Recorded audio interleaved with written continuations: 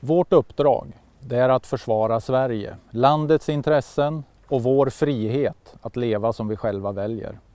Vi ska möta varje hot och klara varje utmaning. Under svåra förhållanden blir Försvarsmaktens förmåga att upprätthålla Sveriges beredskap och säkerhet avgörande för tryggheten i landet och stabiliteten i vårt närområde.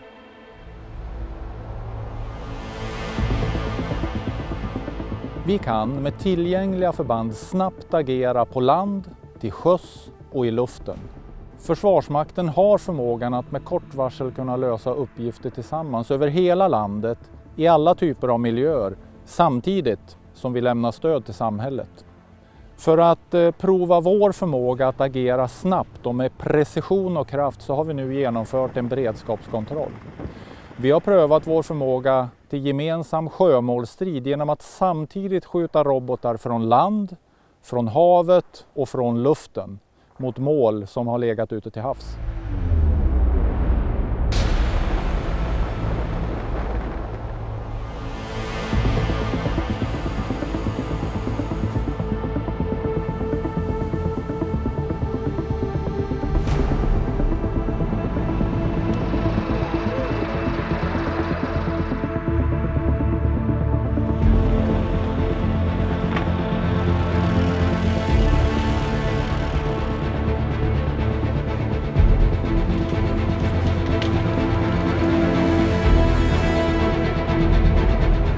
Bravo Zulu, this is Papa, Papa Hotel, Green Range, Weapons 3, over.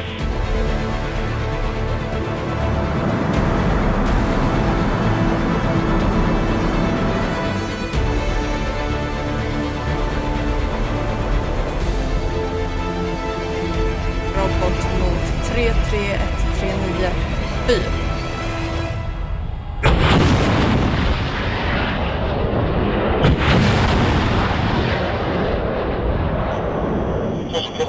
Lion, split up,